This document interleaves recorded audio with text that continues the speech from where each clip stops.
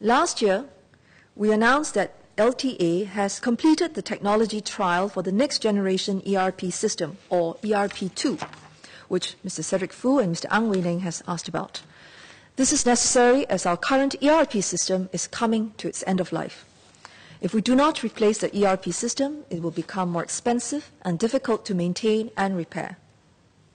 After careful study, we have established the viability of the technologies on offer and will proceed to call a tender in the next few months to develop the ERP2 system by around 2020.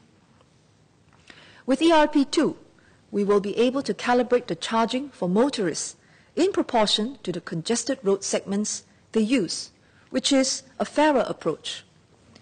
ERP2 can also provide value-added services such as navigation, payment for roadside parking in lieu of parking coupons, and real-time traffic information, which Mr. Ang also noted. There could be scope to review the off-peak car, and we can do so in due time.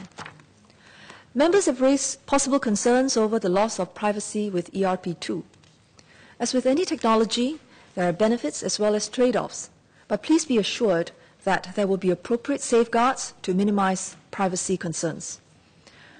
There will also not be any change in the pricing policy and no new charged roads while we transit to the new technology.